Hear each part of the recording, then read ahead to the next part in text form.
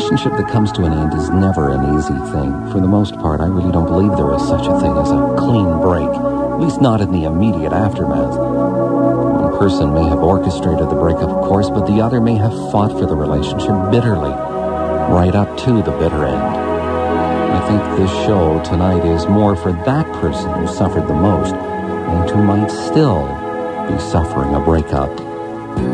With lovers and other strangers. From CHFI FM 98.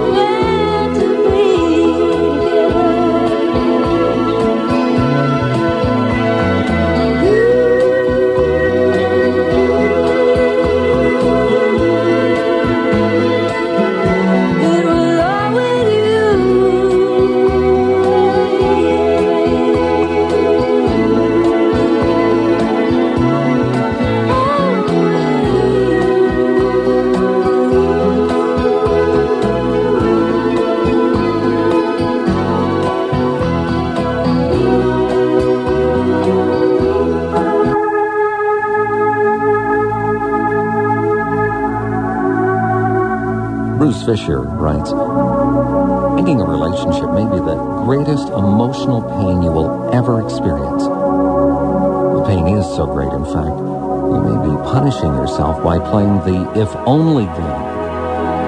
If only I had listened more. If only I hadn't become so angry.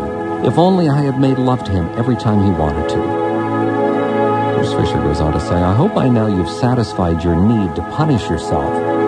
I suggest you let it go. You might think what he's saying is easier said than done. I don't think so, as you'll soon see over these next few hours with lovers and other strangers from CHFI FM 98.